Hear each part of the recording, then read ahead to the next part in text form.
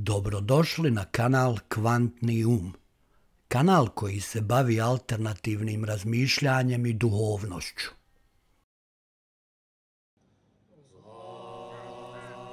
Vizija sa krova svijeta.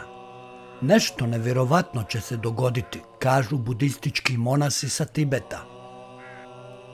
Pogled u budućnost duhovnim moćima nije ništa novo u tibetanskoj tradiciji. Ono o čemu je nekolicina indijskih turista svjedočila u tibetanskim manastirima pod upravom kineske vlade je vrlo zanimljivo.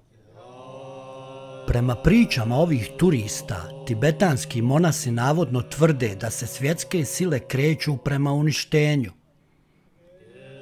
Ali, oni su također vidjeli da svijet neće biti uništen.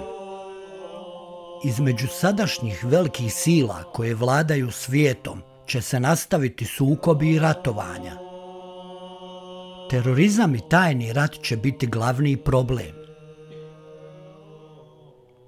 U svijetu politike nešto će da se dogodi upravo oko 2025. godine.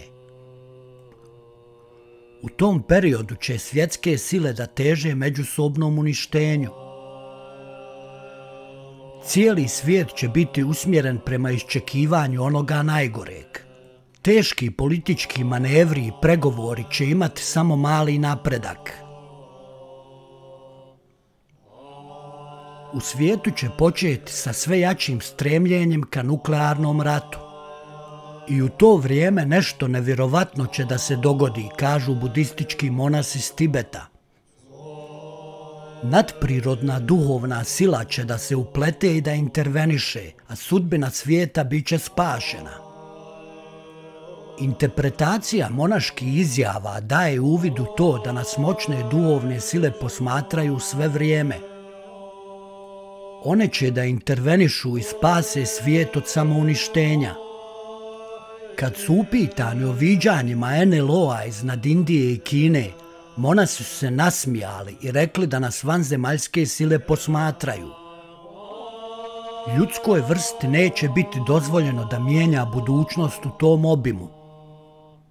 Svako ljudsko biće kroz svoje postojanje i karmu ima mogućnost da utiče na sudbinu, ali mijenjanje sudbine svijeta u tom obimu neće biti dozvoljeno. Monasi su također spomenuli da će posle 2025. naša trenutna civilizacija razumjeti da su krajnji vidici nauke i tehnologije u zoni spiritualnog, a ne u materijalnoj fizičkoj stvarnosti. Posle 2025. godine tehnologija će krenuti drugim pravcem razvoja – Ljudi će da upoznaju srž spiritualnosti, odnos između tijela, uma i duše, reinkarnaciju i činjenicu da smo povezani sa svima kao deo Boga. Prema njihovim viđenjima budućnosti, naša planeta je blagoslovljena, spasavana je sve vrijeme od bilo kakvih oštećenja, a većine toga mi nismo ni svjesni. Kako naša tehnologija bude napredovala, mi ćemo biti u stanju da razumijemo da su nas te duhovne sile spasavale sve vrijeme. Izjavili su tibetanski monasi.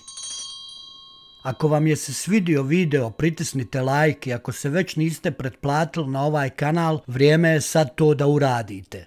Hvala vam na gledanju i do idućeg videa. Ćao, veliki pozdrav!